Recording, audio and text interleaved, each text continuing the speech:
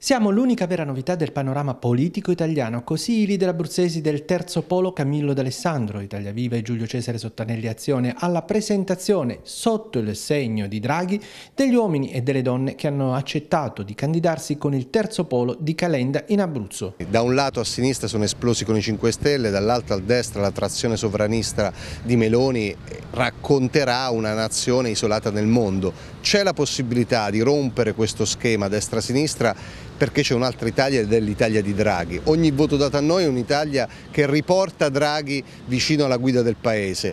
C'è un'Italia silenziosa che non eh, accetta quello che sta accadendo, come si sono formate le liste. Dove sono stati catapultati quattro candidati da fuori regioni in posizioni tutti eleggibili, quindi oh, all'Abruzzo è stata tolta una rappresentanza importante, quindi noi come terzo polo abbiamo dei candidati con un cursus honorum di grande qualità che certamente possono rappresentare al meglio l'Abruzzo e certamente saremo la grande novità di queste elezioni.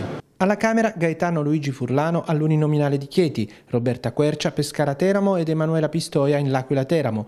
Per il plurinominale con Giulio Cesare Sottanelli, Roberta Dell'Aguzzo, Riccardo Giampiero e Massimina Erasmi. All'uninominale Senato l'ex presidente di Tua Gianfranco Giuliante in lista con D'Alessandro Nausica Cameli e Alfredo Chiantini. Abbiamo un programma concreto, un programma definito, un programma che in maniera pragmatica eh, non sono slogan ma il programma contiene le azioni e le risorse per andare a raggiungere quegli obiettivi che sono fissati all'interno del programma. Quali sono le, gli obiettivi? Cosa vi aspettate dall'elettorato abruzzese?